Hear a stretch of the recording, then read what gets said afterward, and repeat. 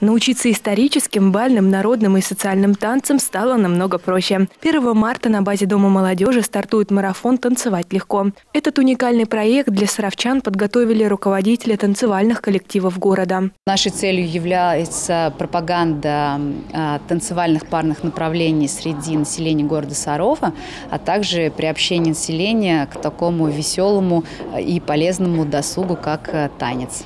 Принять участие в марафоне смогут саровчане любого возраста, независимо от танцевального опыта. На первое организационное собрание в Дом молодежи организаторы приглашают прийти всех желающих. Если вдруг участники приходят без пары, мы постараемся из вот таких одиноких э, людей э, сделать пары на первом организационном занятии. Э, будем надеяться, что всем хватит партнеров, потому что, как правило, девушек приходит всегда больше, чем, чем молодых людей.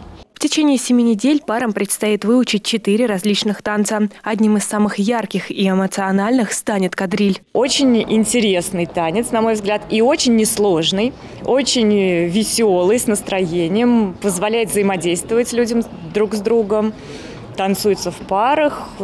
Мне он нравится, я думаю, он понравится нашим участникам. Итоги танцевального марафона проведут 20 апреля в Доме молодежи. Профессиональное жюри присудит звание короля и королевы бала, а также выберет самый оригинальный костюм. Главным призом станет туристическая поездка в город Казань. Кроме того, среди конкурсантов будут разыгрываться призы и подарки от спонсоров. Более подробную информацию о марафоне можно узнать в социальной сети ВКонтакте «Танцевать легко» или позвонив по телефону 53210. Ирина Вышегородцева, Артемий Глазков, Владимир Лисик. Служба новостей Саров 24.